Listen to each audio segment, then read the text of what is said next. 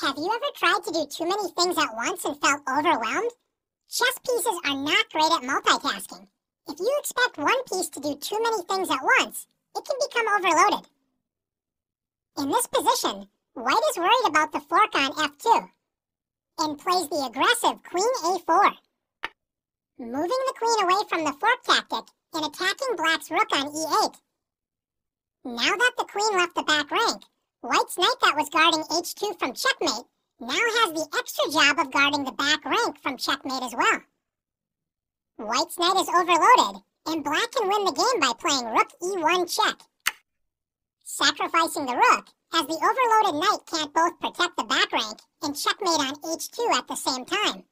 After knight takes e1, black wins with queen takes h2. Checkmate. After queen a4, Black can also take advantage of the overworked knight by first playing queen takes h2 check, forcing the knight to capture the queen with knight takes h2, opening up white's vulnerable back rank. Black forces checkmate after rook e1 check, knight f1, rook takes f1, checkmate. Let's take a look at another example of the overloaded piece. In this position, White's king is in danger.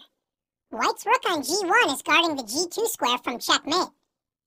As White's rook is the only piece actively guarding the king, Grandmaster Friedrich Olafsson, playing with the black pieces, finds a spectacular combination to overload the white rook, beginning with the queen sacrifice, queen g2 check.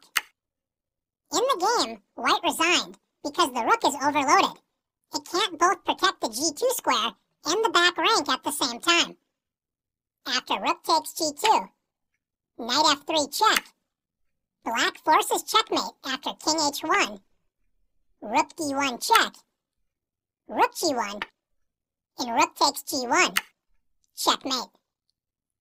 Let's take a look at one more example together. In this position, Cuban Grandmaster Jose Raul Capablanca has the white pieces.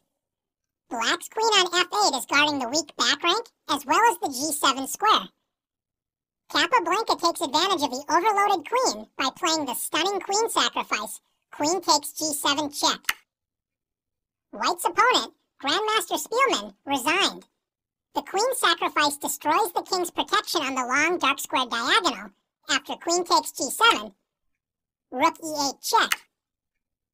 If black blocks the check with queen g8, the overloaded queen is pinned to the back rank, so white can play bishop e5 check with checkmate to follow on the next move.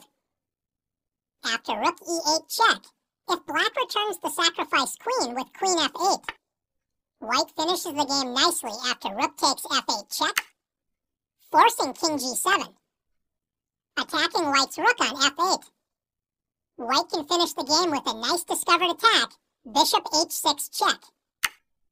The bishop checks the king, guarding the rook on f8 from the king's capture, and reveals the rook's attack on f2.